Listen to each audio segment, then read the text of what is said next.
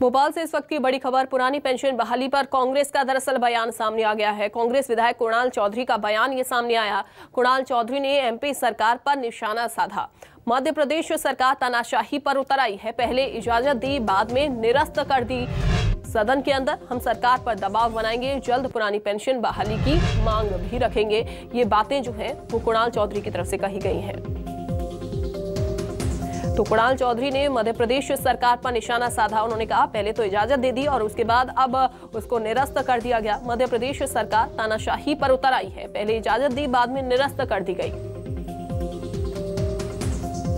मध्य प्रदेश सरकार तानाशाही पे उतर आई है। लोकतांत्रिक मूल्यों के साथ कर्मचारी संगठन अपने अधिकारों की बात करते हैं तो पहले परमिशन दी जाती है, उसके बाद उनकी परमिशन निरस्त करी जाती है।